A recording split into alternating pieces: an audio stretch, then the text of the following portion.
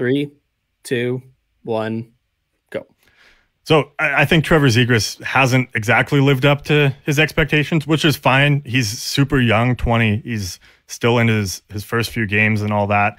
Um, but so I, I, think he does need a couple games in the press box to maybe get scratched, maybe go back down to the AHL.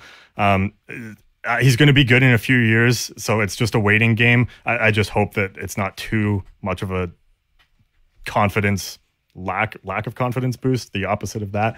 Um, and I hope it doesn't hurt him in the future. But I think he'll be fine. So even though it sucks to see him be scratched, that's pretty good. Yeah, nice job, nice job. okay. now your uh, turn.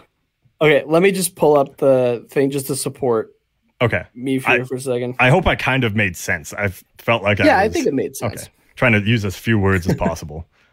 Why use okay. few word when yeah.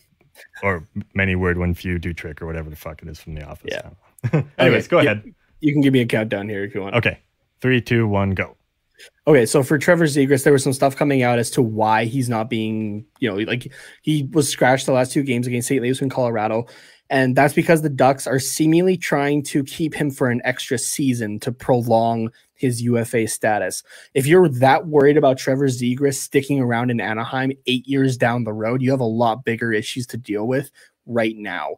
And, you know, it makes no sense, I think, to have him up just to get sat and that sort of thing. Let him develop. If you have to, send him back to the AHL just to let him play.